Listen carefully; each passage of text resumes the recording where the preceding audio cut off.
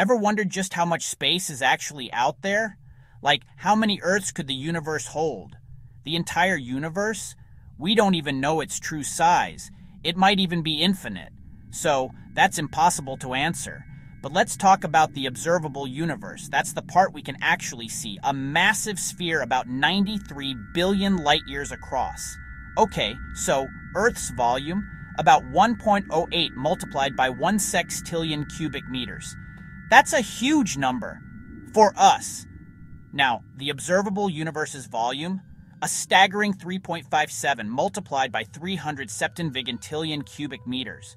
That's a 3 followed by 80 zeros. So if we crunch the numbers, get ready.